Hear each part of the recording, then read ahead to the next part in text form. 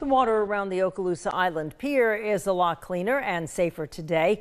93 Destin scuba divers spent their Saturday removing debris from the pier. Buddy teams removed wrapped fishing line and other items dropped off that pier.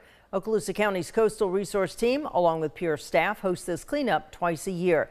The pier is shut down to fishing during the dive for safety. Staff say they are seeing less trash during each cleanup dive but removing the fishing line is still the top priority to help protect marine life.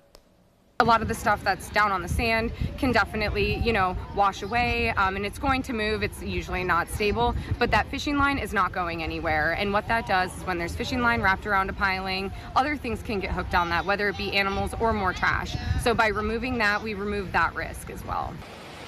Local organizations Erase the Trace and Eco Clean Marine held an onshore beach cleanup, removing more than 160 pounds of trash total at the event.